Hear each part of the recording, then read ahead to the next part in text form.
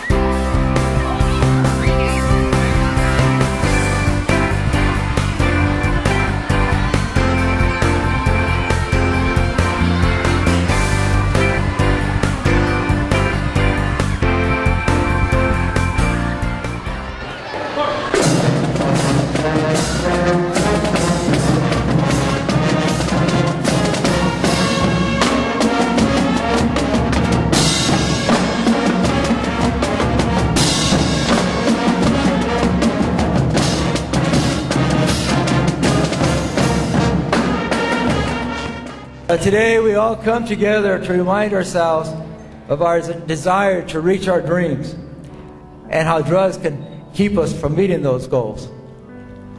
We call this Red Ribbon Week and we wear these red ribbons to show that you and I say no to drugs. We say no to drugs and we truly mean it.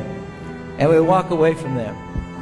And, we, and then we are telling everyone that we believe in our red ribbon model walk out on drugs. I sat like you many, many years ago in a gymnasium, never ever thinking where I might wind up. And I sat in a gymnasium in the great state of Illinois as a child, never ever thinking I'd be fortunate enough to be where I am today. But I had a lot of people to help me, from my family to my friends to coaches to teachers, uh, all who are wrapping their arms around you to make sure that you understand that there's a whole bunch of folks out there that truly care about you. It's great to see all of you out here today to participate in this really great event.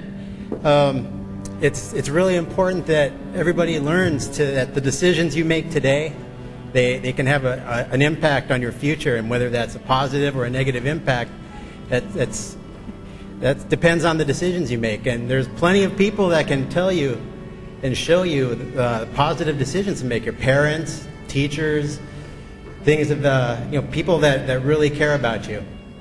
And there's so many programs that are available to you uh, from the city, from schools, all the programs that are available. You need to take advantage of those. Hi, my name is Cindy, and I am your Miss Hawaiian Gardens 2011.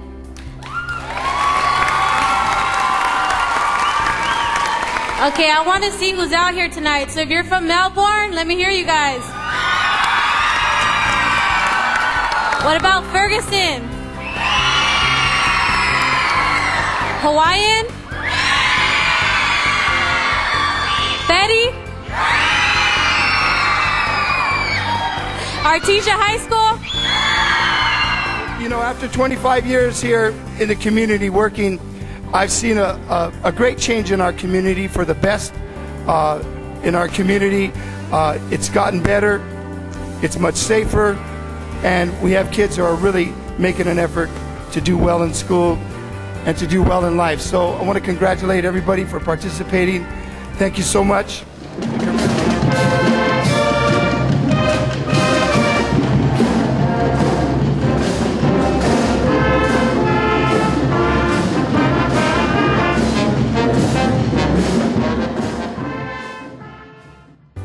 Hope that kids will take the anti drug and violence message to heart and understand that the city and community are here to support them.